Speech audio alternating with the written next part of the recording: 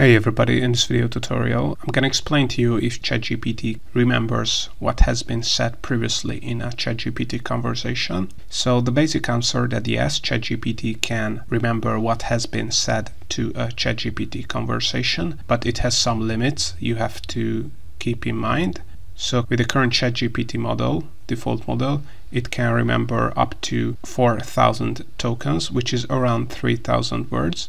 And what this means is that, for instance, I have this example here where I started to generate a blog post about how to make money with affiliate marketing. And if we check out the number of words, as you can see, it's less than 150 words.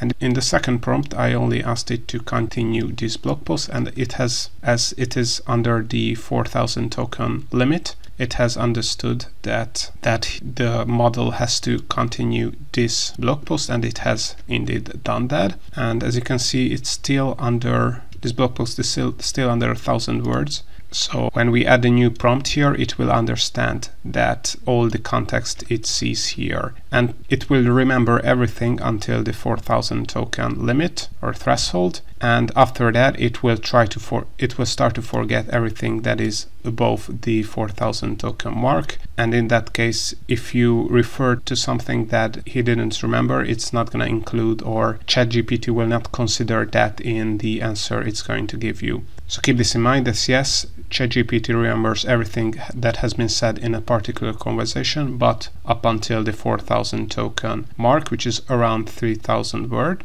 And also keep in mind that it's also just one ChatGPT conversation. So if I had another ChatGPT conversation here and I want to refer to something in that other conversation, it's not going to understand. So the 4000 token mark only applies to one ChatGPT conversation. Uh, OpenAI also has this tokenizer tool where you can enter your text and it will tell you how much token and how much character the specific text is.